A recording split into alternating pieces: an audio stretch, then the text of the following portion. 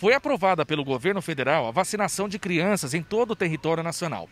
Aqui em Juína, a vacinação deverá começar em breve, como nos explicou a secretária de Saúde. Nós também já temos a, a liberação para vacinar crianças com a marca da Pfizer. Né? Ainda não chegou essas chegaram essas doses. Hoje, às 14 horas, todos os secretários municipais do Mato Grosso se reúnem numa, numa discussão e todas as unidades de saúde que vão vacinar crianças vão passar primeiramente por um treinamento, porque a, a, a dosagem ela é diferente, até o cor, a cor da ampola ela é diferente, tem todo um cuidado, mas a gente está vendo aí o bom resultado dos outros países e a gente espera que a gente também tenha os bons resultados aqui no Brasil. Secretária, como é está a ocupação dos, dos leitos do centro Covid?